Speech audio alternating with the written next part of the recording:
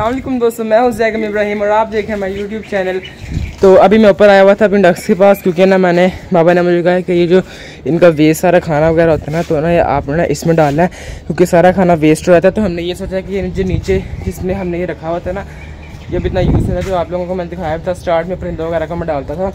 तो अब इसमें नहीं मैंने डालना, क्योंकि सारा वो सारा बाहर गिरा जाता है, सारा वेस्ट हो जाता है। तो यही सोचा कि इसको इसके अंदर डाल के हम इसको ऊपर रख देंगे ताकि ना यहाँ पे सेव भी रहेगा और वेस्ट वगैरह ये ना इधर उधर के आके ना परिंदे वगैरह खा लेंगे। दोस्तों, खाना मैं इनको डाल दिया। ये देखें, इतना खाना वेस्ट है कि इनका एक बॉल जो है ना पूरा फुल फुल हो गया और जो ये देखें, मैंने ऊपर ऊपर से उठाया है। स्टिक जो हुआ ना, मैंने नहीं उठाया क्योंकि ना वो फिर खाते नहीं हैं। और फिर मैंने कहा, ये इसमें, ये देखें, अभी एक बाउल फुल हुआ है। मैं कहता दोनों होते ना, फिर ज़्यादा सही है, लेकिन फिर मैंने ना एक को ही कर दिया फिर दोस्तों मौसम बहुत ज़्यादा अच्छा हुआ है, हल्की हल्की बारिश हो रही है, रात को काफ़ी तेज़ बारिश हुई थी।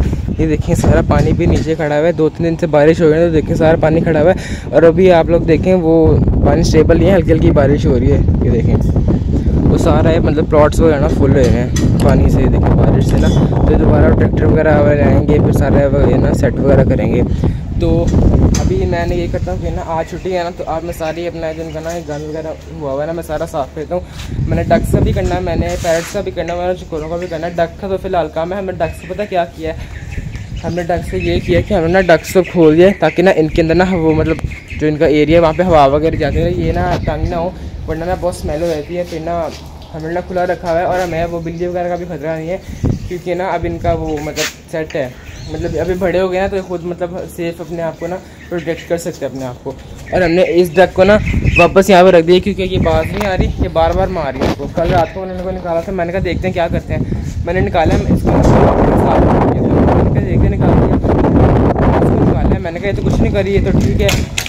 बैंक तो कुछ नहीं करी तो ठीक है। फिर उसने उसमें क्या हुआ? उसने ना एक दफ़ा अटैक किया है तो उससे ना वो फिर चीखें मारी ज़रा। फिर उसने दोबारा अटैक किया, फिर मैंने कहा, नहीं, इसको वहीं पर सही है वहीं पर सही रहती है, वरना से सारी डक्स मार देना एक डक इसने हमारी साइड से सारी ख़राब कर दिया देखिए वो तेरी छोटी सी जो है ना, वो वाली, वो सारी इसने ख़राब कर दी साइड से। देखे ना, सारे उसके फैदर हो गए। बाकी बाकी डक्स से भी अटैक करना शुरू कर दिया। इसने एक जो है ना, वो सबसे बड़ी वाली, वो वाली, वो ब्लैक जो बाउल के पास है, वो सेफ़ है बस।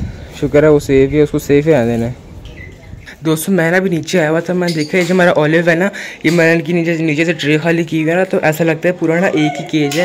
ये जो ऑलिव है ना, ये इनको ना मारा था भी वो देखिए वो जो तीनों है मतलब एक मिनट चारों जो है ना, देखें, चारों ऊपर आए हुए हैं और ऑलिव भी नीचे आया हुआ था, मुझे देखे ना, वापस डर के ऊपर चला गया, वरना इनको ना मारा था ये। मैं सोच रहा हूँ कि ना, इनको भी ऊपर ले जाता, मैं पहले बाबा से पूछ लेता हूँ। इनको ना मैं इनका पहले उतार लेता हूँ, जो इनकी ये लगे हुए ना बॉक्सेस वगैरह। पहले मैं ये उतार लेता हूँ। फिर ना इनको ऊपर ले जाते हैं।